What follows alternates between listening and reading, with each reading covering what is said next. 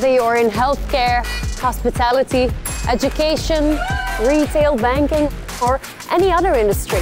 Axon offers you more. It's about having confidence. Confidence in being in the business of business as usual.